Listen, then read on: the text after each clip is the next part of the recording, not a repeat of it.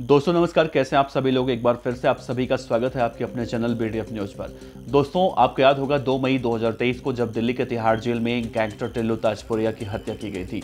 टिल्लू ताजपुरिया की हत्या जितेंद्र गोगी का बदला बताया गया था और गोगी गैंग के चार पाँच बदमाश मिलकर टिल्लू ताजपुरिया के सीने में आ, सर में मुँह में जहाँ जहाँ उनको उस वक्त लगा वहाँ वहाँ उसके ऊपर वॉर करते रहे और कुछ ही देर के बाद टिल्लू ताजपुरिया ज़मीन पर बेसुस पड़ा हुआ था। टिल्लू ताजपुरिया की हत्या उस वक्त तो हो चुकी थी, लेकिन टिल्लू ताजपुरिया गैंग के साथ वाले गैंग या फिर टिल्लू ताजपुरिया गैंग के बदमाशों ने उसी दिन ये ऐलान कर दिया था। कि जब से टिल्लू ताजपुरिया की हत्या हुई है, उसके बाद से ही गोगी गैंग के बदमाशों को वो नहीं छोड़ेंगे। हालाँकि उसके बाद कई बार देश की राजधानी दिल्ली में इन दोनों ही गैंगों के बीच में गैंग वॉर की खबरें लगातार सामने आई। लेकिन अब दो दिन पहले जिस तरह से दिल्ली के मुंडका इलाके में टेल्लू ताजपुरिया गैंग के बदमाशों ने, जितेंद्र गोगी गैंग के बदमाशों एक बदमाश की हत्या की है। उसके बाद अब ये कहा जा रहा है कि दिल्ली में फिर से टिल्लू वर्सेस गोगी गैंग के बीच में जो गैंग वॉर होती थी, वो लौट आई है। देखिए, पहले अटकलें ये लगाई जा रही थी कि टिल्लू ताजपुरिया गैंग के बदमाशों ने गोगी गैंग के बदमाश की हत्या मुंडका में नहीं की है, बल्कि ये जो है कोई और ही मामला है। लेकिन अब सोशल मीडिया पर एक पोस्ट निकलकर सामने आ चुका है। वो पोस्ट ये दावा कर रहा है कि टिल्लू ताजपुरिया की हत्या का बदला गोगी गैंग के बदमाश की हत्या करके लिया गया है। और जो व्यक्ति, यानी गोगी गैंग का जो बदमाश बताया गया, जो मारा गया है, वो उसके बारे में उस सोशल मीडिया पोस्ट में बहुत कुछ बातें वो बता रहा है। तो सबसे पहले आपसे बताएँ तो देखिए ये पूरा इलाका पूरा मामला जो है, ये शनिवार का है, जब दिल्ली के मुंडका इलाके में टिल्लू ताजपुरिया गैंग के कुछ बदमाश पहुँचते हैं और अपने विरोधी गैंग के बदमाश, यानी गोगी गैंग के बदमाश अमित की गोली मारकर हत्या करते हैं। और कहा गया कि अमित 22 साल का था, वो तिहाड़ जेल में था। इससे पहले और जेल से बाहर आया था और जब वो मुंडगा इलाके में पहुँचा तो उसकी बदमाशों ने हत्या कर दी। फ़िलहाल इस वारदात के साथ साथ दिल्ली और दूसरे जगहों पर इलाकों में गैंगवॉर की आशंका जताई जा रही थी और जिसको देखते हुए दिल्ली पुलिस ने चौकसी बढ़ा दी और अभी तक फ़िलहाल दो से तीन दिन का वक्त गुजर चुका है। इस मामले में किसी की गिरफ्तारी अभी नहीं हुई है। या ये कहें कि टिल्लू ताजपुरिया गैंग के वो बदमाश, जिन्होंने गोगी गैंग के बदमाश को बेरहमी से मारा है, वो अभी तक गिरफ़्तार नहीं हुए हैं।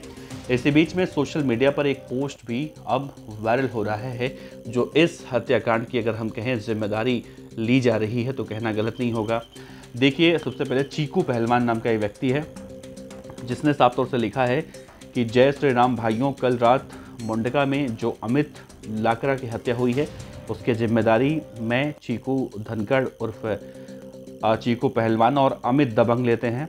ये चोर नागलोई और मुंडका में अमीर व्यापारियों का नंबर सट्टे वाले और बहुत सारे ऐसे लोग हैं। उनके एंटी गैंग के पास पहुँचाया करता था और उसने ये भी लिखा है कि हमने किसी भी बेकसूर को आज तक नहीं मारा है और ना ही आगे मारेंगे। बाकी जो भी हमारे किसी एंटी गैंग की किसी भी तरीके से मदद करेगा उसका अंजाम हम अमित की तरह ही करेंगे, उसे नहीं छोड़ेंगे।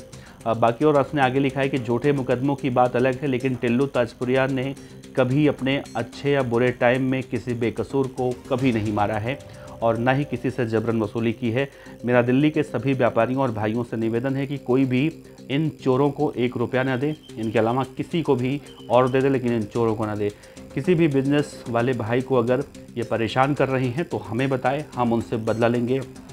और आगे उसने ये भी लिखा है कि जो भी इस तरह से है आगे बहुत सारे ऐसे लोग हैं, उनसे बदला लिया जाएगा। बाकी बहुत कुछ दिनों में देखने में ये भी आया है कि हवा बदलते ही बहुत से कुत्ता बिल्ली इनके लिए मुखबरी का काम कर रही हैं। टिल्लू ताजपुरिया की नज़र हर उस कुत्ते बिल्ली पर है। और अपना ध्यान यहीं पर रखें, कहीं और ना रहें। इस तरह की तमाम बातें कही गई हैं। तो देखिए, चीकू पहलवान दरअसल जिस तरह से सोशल मीडिया पर पोस्ट कर रहा है और अमित दबंग के साथ वो इस हत्याकांड को ज़िम्मेदारी ले रहा है, उससे ये साफ़ साफ़ होता है कि ये टिल्लू ताजपुरिया गैंग के बदमाश हैं, जिन्होंने मुंड का इलाके में इस गैंग वॉर को अंजाम दिया है। साथ ही वो ये भी कह रहा है कि जितेंद्र गोगी गैंग के जो बदमाश हैं, वो चोर हैं और इन चोरों को कोई एक रुपया ना दे जिन, जो भी इन लोगों की मदद करेगा। यानी जो भी जितेंद्र गोगी गैंग के बदमाशों के किसी भी तरह से कोई मदद करेगा, वो आ, उनको ऐसे ही मारेंगे। अमित दबंग और चीको पहलवान के फेसबुक पोस्ट से ये दावा किया जा रहा है। हालाँकि ये फेसबुक पोस्ट वायरल तो हो रहा है इसकी पुष्टि अभी नहीं हुई है लेकिन जिस तरह से टिल्लू और गोगी गैंग के बीच में अभी तक गैंग वॉर होता रहा है उससे ये बातें ज़रूर शत प्रतिशत कही जा रही हैं कि इन दोनों ही गैंगों का ये काम हो सकता है।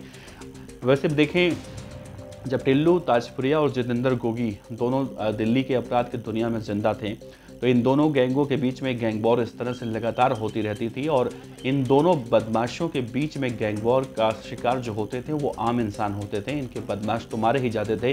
कई बार ऐसे भी देखने को मिला है कि इनके गोली का शिकार आम लोग भी होते थे, जो कहीं ना कहीं बिना मतलब के इनकी गोली का शिकार हो जाते थे। लेकिन जब से, यानी 24 सितंबर 2021 जब जितेंद्र गोगी दिल्ली के रोहिणी कोर्ट में मारा गया था, टिल्लू ताजपुरिया उस वक्त मंडोली जेल में बंद था और उसके ऊपर नवीन बाली, जो नीरज भवाना का शागिर्द है, इन दोनों के ऊपर आरोप लगा था। उस वक्त ही गोगी गैंग की तरफ़ से कसम खाई गई थी कि जब तक टिल्लू ताजपुरिया को मार नहीं देते, तब तक गोगी का बदला पूरा नहीं होता। और आखिरकार 2 मई 2023 को टिल्लू ताजपुरिया को जब मार दिया गया, उसके बाद ये गैंग बॉर का सिलसिला और भी ज़्यादा बढ़ गया है। और अब चीको पहलवान अमित दबंग ने, अमित, जो गोगी गैंग का था उसे मार दिया है। कहीं ना कहीं इस हत्याकांड के बाद अब देश की राजधानी दिल्ली में एक बार फिर से गैंगवॉर की आशंकाएँ जताई जा रही हैं। वैसे दोस्तों, आपको इस खबर पर अगर कुछ कहना हो, कोई बात रखनी हो तो कमेंट बॉक्स में रख सकते हैं। आपका बहुत बहुत शुक्रिया। नमस्ते।